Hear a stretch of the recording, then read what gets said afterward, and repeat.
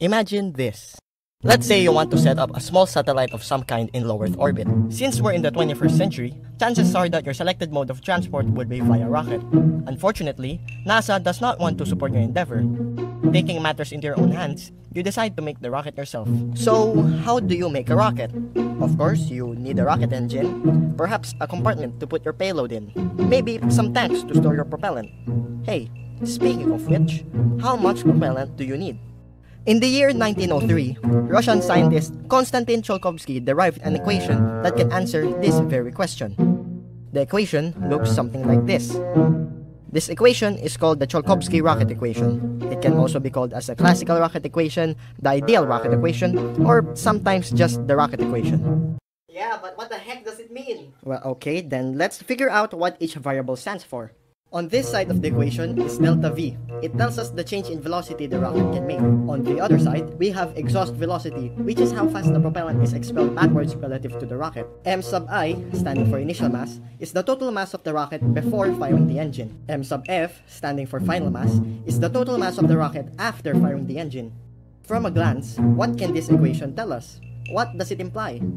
For one, it tells us that it actually doesn't matter how much propellant we bring. What matters is the proportion between the propellant mass and the total mass of the rocket. Yeah, that's cool, but where did the equation come from? Hmm, valid question, but small warning, this may get a little mathematical. According to Newton's second law of motion, we know that the sum of the forces acting on an object is equal to the mass of the object times its acceleration. Let's move the mass to the other side. We also know that acceleration is the derivative, or rate of change, of velocity. Therefore, velocity is also the antiderivative of acceleration. With a little substitution, we should get this equation. The force on a rocket is equal to the thrust of the engine, which is equal to the exhaust velocity multiplied by the mass flow rate, which is how much propellant is ejected per second. We know that the mass of a rocket constantly changes because it's constantly ejecting propellant. We can write mass as a quantity that changes with time, defined with this function. Of course, t stands for time. Let's say that the time interval would be from 0 to delta t, which would be how long we turn the engine on for. With a little integration magic, we should end up with this equation. This denominator here could be thought of as the mass of the rocket after the burn. Hence, we can change this to final mass. And, well, there we go. There's our equation.